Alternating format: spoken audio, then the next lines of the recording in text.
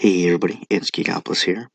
So, I recorded this video and it did not save, so here I am trying to do it again. So, let's just get right into this, because I'm a little bit annoyed with that. So, recently I did a video talking about who I believe was one of the most wasted potential characters in the sequel trilogy, that being Finn, given what his backstory could have been and the development the character could have had compared to what we actually received. Uh, however, there were plenty of characters, uh, upon further analysis, that can take that role of most wasted potential in the series. Um, the one I mentioned in that video being a um, possible contender to that was Kylo Ren, which is whom I will be speaking about today. Now, Kylo Ren um, I'll just talk about what we see from him in these movies, and then I'll talk about what I believe he could have been or should have been uh, based off of just a rough uh, uh, description of what the character was without any further context. Now, uh, in these movies, we see him be pretty much nothing more than just a petulant child who constantly throws temper tantrums and cannot uh, really hold a scene in terms of believability or intimidation or any level of consistency with the writing of the character itself. He was written in such a way where it really didn't convey to the audience whether he was on the good guy side or the bad guy side, not because of his actions. His actions were pretty consistently um, that of the villain, although he never felt like a villain. He felt more like a rival, a rival to Rey, someone who has no training and uh, didn't even really believe in the Force until what a day before they fought, or the day of, for all I know.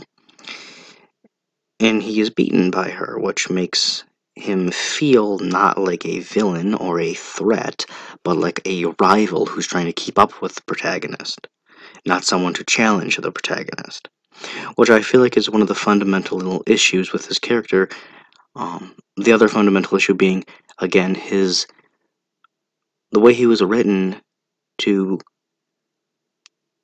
I, I understand what they're going for with the conflicted nature because they wanted him to kind of be a uh, he is a Vader ripoff, is what he is, but they wanted him to be sort of um, like an homage to Vader, kind of honoring him in a way.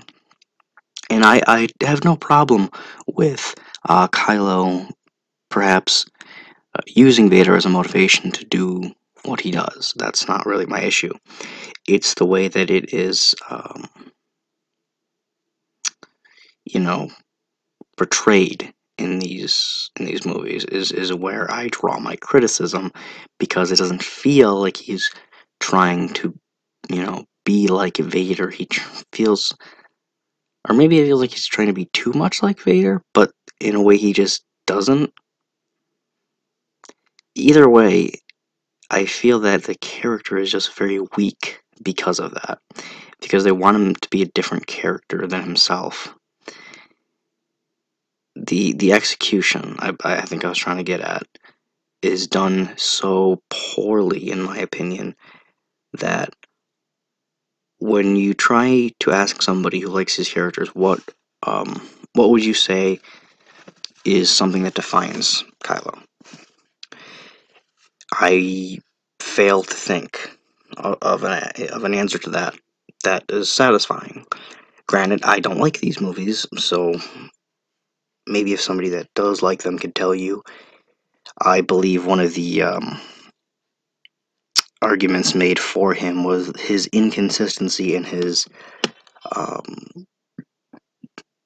what is it like unstable stableness is something that is a trait that they find desirable in a villain i've heard um, i disagree i prefer a villain or antagonist at the very least, to be consistent in what he's conveying.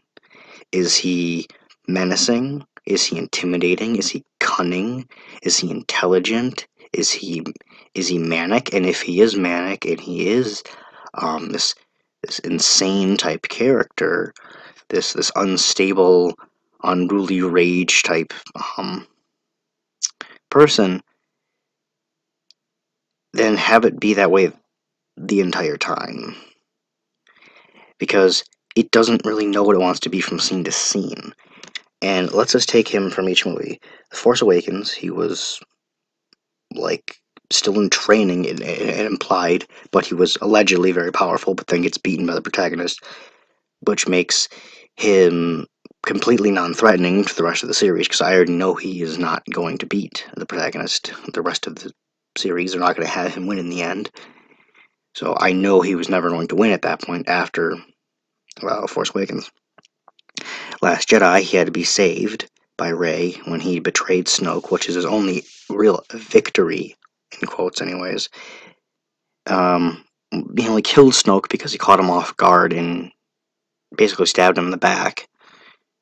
So, okay. Doesn't really tell me much. And then, again, while fighting the guards, Rey had to save him. It's... It, it's just, it's annoying to see a character that could have been so unique and yet familiar be denigrated in such a way that it is considered a non-character. Well, I was gonna say non-character, but that's more of Rey.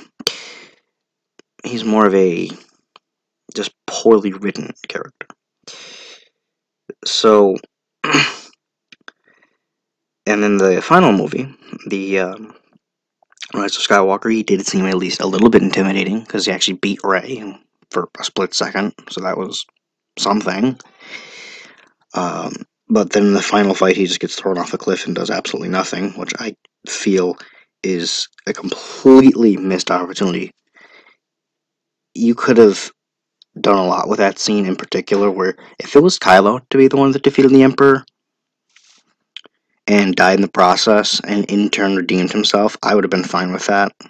I that to me seems more of a fitting end and a respect to the title of the story, Rise of Skywalker, instead of having a Palpatine defeat Palpatine. It's just awful.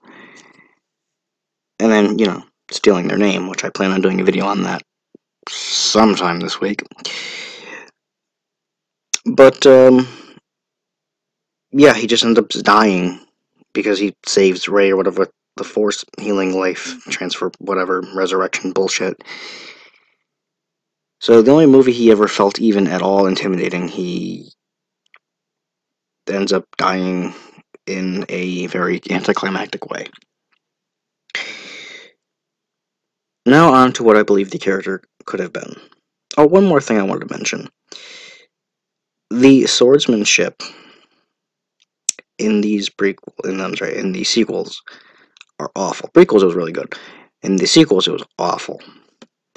The duels, far and few they are between, feel messy, clunky.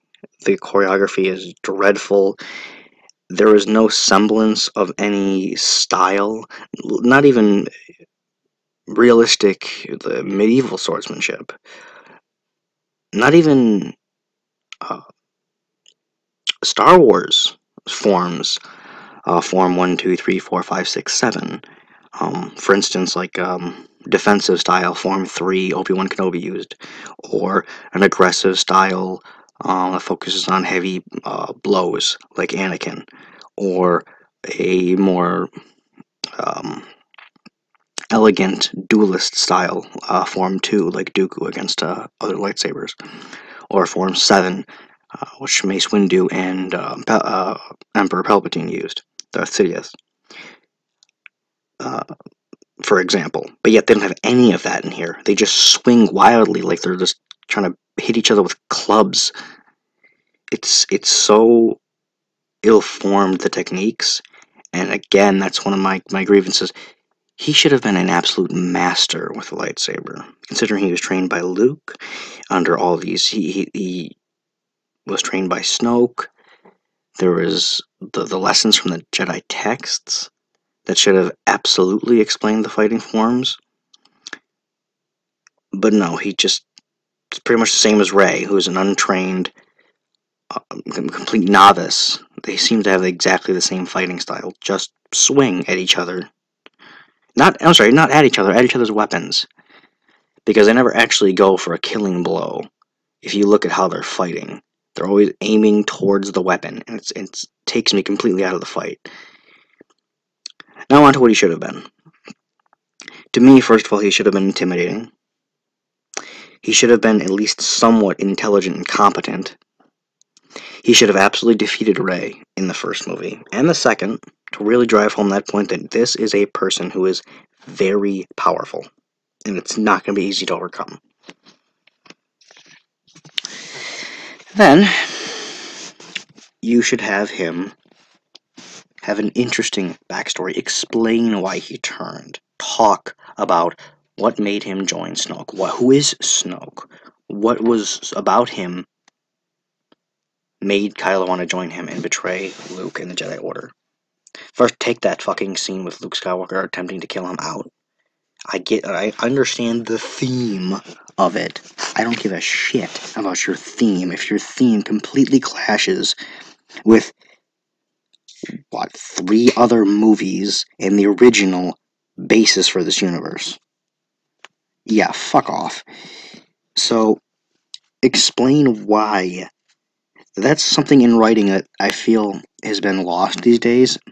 People stop explaining why. They just say, this is what it is. And no, that does not mean I want every single scene to be large exposition dumps. I just want things to make narrative and logical sense while I'm while I'm consuming that particular form of media. Because if it doesn't, it immediately takes me out of it, meaning I cannot enjoy it.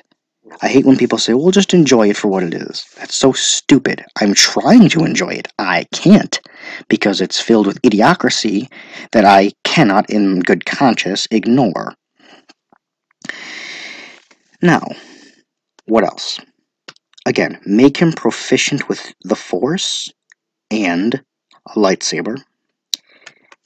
Give him more motivation than just, I don't know, I liked Vader. He seemed cool it, that's pretty much all I get from him. So, I, I don't know. He just wants to rule the galaxy because he does. Whatever. It's stupid. This is, again, the issue with not defining what your characters are and just having them be. Also, I believe that he should have had a unique ability. And he, I thought they were going to give him a unique ability to begin with when he did his the whole freezing the blaster bolt. That was cool. It was a good scene for about two seconds. And once that was finished, they never really returned to it. I think it would have been interesting if he would have used that power on Snoke, and Snoke never seen it before, and that's how he kills him. That would have been interesting. Better than him just kind of knifing him in the back. Also, I was hoping they would explain this, and this is not just the sequel's fault, this is pretty much all of them. Maybe I just don't have enough um, outside information to answer this question, but you know how Snoke was just throwing around Rey in the throne room scene before he was killed? Why don't they just do that constantly? Like, they never make it clear why they don't.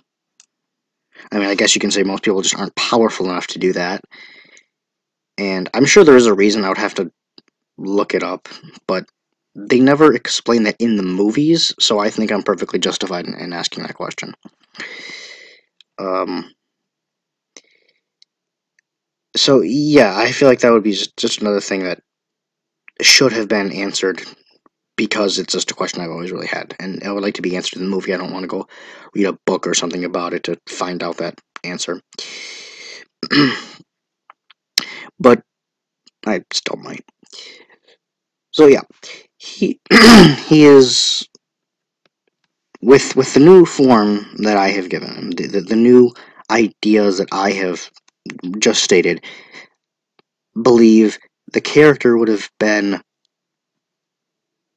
something that they can actually rely on and lean on in the series instead of having to constantly call back to the old characters and resurrect fucking Palpatine from the dead. Now, I do have a video on how I believe he could have came back without it completely ruining the originals, even you know, operative word being completely. But still, if you would have made these characters ones that people like and actually made them live up to their full potential, like I, I'm um, trying to address here. I mean, think about it. This is a Skywalker, the son of Leia and Han, and they do this with him. Basically nothing, except make him the most emo character in Star Wars. I mean, you pe people complain about Anakin all day long, and that's fine. I I understand that. I like Anakin, but I get the criticism. I really do. But if you're not going to complain about this, then you're full of shit. And you are in you are not holding the same standards per movie. But I just think with a being him being a Skywalker, being the son of two of the main characters in the originals, they should have done a lot more. At least respect the past. You know, build upon it. Make it interesting. Have fun with it. It's Star Wars. Anyways, um, let me let me know what you guys think in the comments. Um, how would you have changed uh, Kylo? I don't I didn't get too specific into every little detail because I may be working on a series that does that. But this is just my general thoughts upon what the character could have been and why I believe his potential was absolutely wasted. Because he could have been so cool. He never used Force Lightning. He never used anything besides that one freezing power that was interesting or unique to the Force to, to differentiate himself from other Sith. Or he never even really claimed to be a Sith, granted, but still. He's clearly on the dark side. Anyways, let me know what you guys think, and if you like the video, please do like it, share it around. Um, really will help me out. Uh, thank you, Geekapolis. Out.